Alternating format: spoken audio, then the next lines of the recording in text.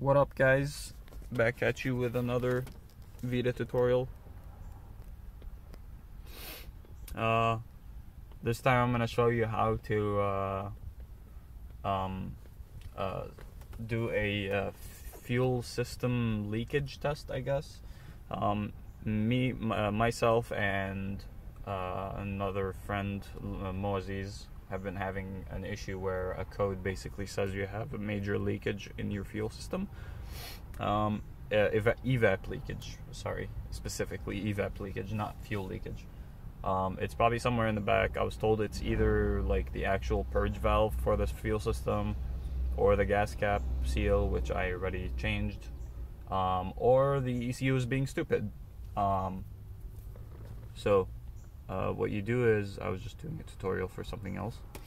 Uh, obviously, you'll start at details, and you go vehicle communications. Sorry, vehicle communications, and you'll first be at parameters. Go to advanced, and you go to right there.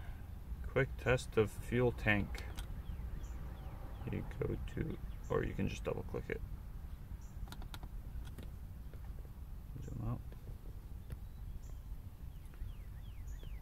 Um, obviously you need the ignition on.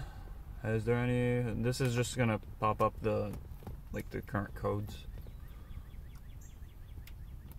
and show you the whatever the hell it's installed for the latest software update. I don't know if that's true because this is like a bootleg version of VIDA, so it's not updated. So I wouldn't really tell you if you do really have the latest version. Oh, supposed to press yes.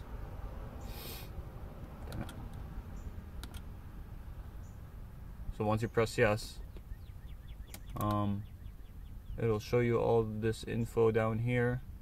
It'll tell you basically, it gives you an idea of what the results should be.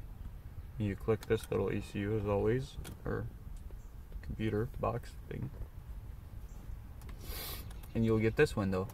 So once you click start, you can see down here, um, this is where this test results come up or I mean this is where the test results come up. This is what the running status is. So once you click start right now it's testing it. And if there's a leakage it should show minor leak leak or like major leakage or system fine. So we'll let it run for for like 10 seconds or something. We'll see what it says. I hear it clicking in the back. Sensors are doing stuff. Yep, major leak. And then you can just press stop.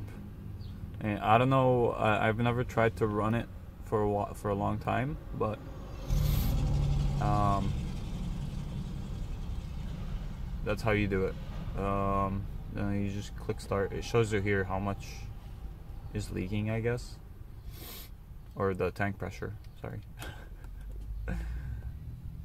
Goes. I heard it click in the back. And you just click hide. And it you scroll down and it'll ask you what were the results over here basically what were the results for the fuel test or fuel system leakage test um, mine was number one because um, minor leakage found or major leakage mine was a major leakage if you have nothing you just click two or if you have if the test came unknown you click 3 um, so I'm to click 1 because I have a major leak. And then you click continue.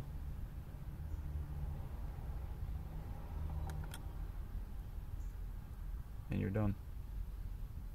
So that's how you know you have a major leakage in your system.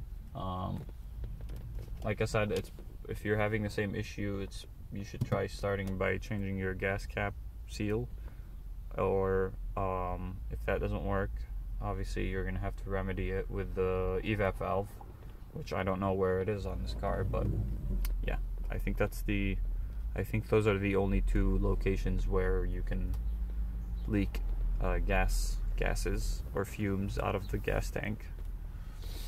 Uh, yeah thanks for watching